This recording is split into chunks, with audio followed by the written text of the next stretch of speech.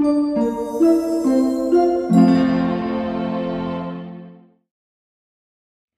my name is Pavan Varthakavi, and my event is Sports and Entertainment Marketing Operations. And through this event, I made it to ICDC.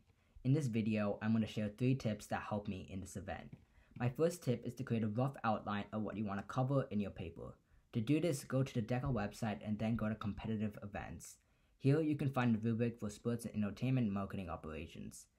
In the rubric, go through each required section and plan out what you want to write for each of these sections.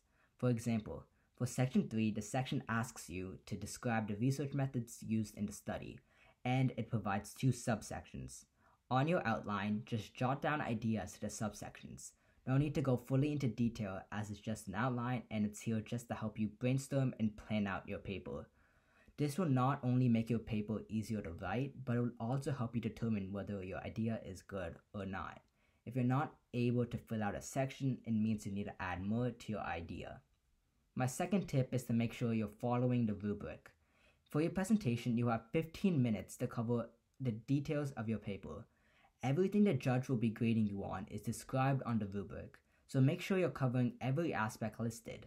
Otherwise, you will lose a huge chunk of points unnecessarily.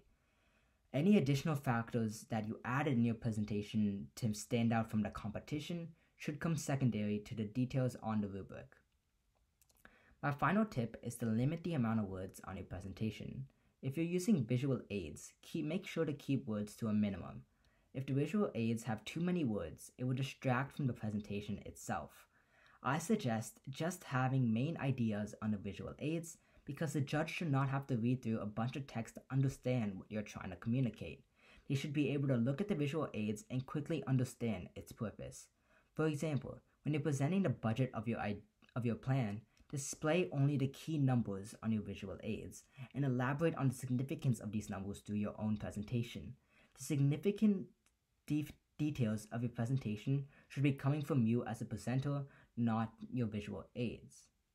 So that wraps up my three tips to help you in this event.